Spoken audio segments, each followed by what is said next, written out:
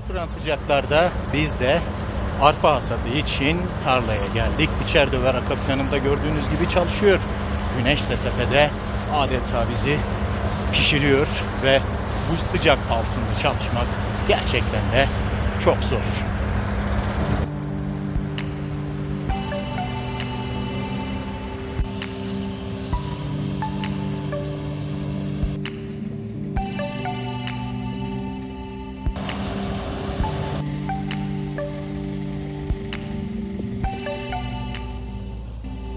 Yavaş yavaş hava da kararmaya başladı fakat bizim mesai son sürat devam ediyor.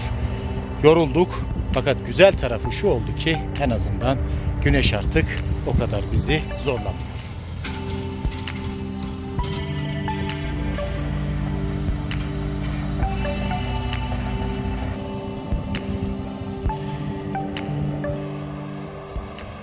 Güneş yavaş yavaş tepelerden batmak üzere. Tabii mesai ise devam ediyor.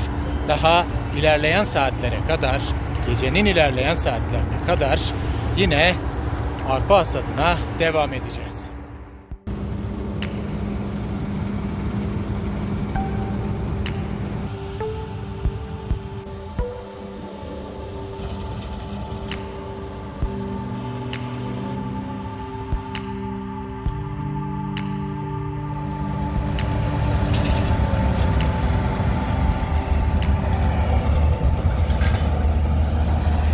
Şu anda biçer döver arkasındaki saman kısmını ramuğunu bıraktı.